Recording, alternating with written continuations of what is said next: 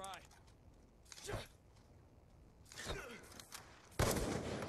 He's gone.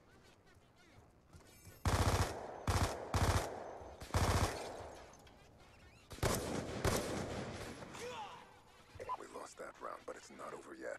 Get ready for the next one.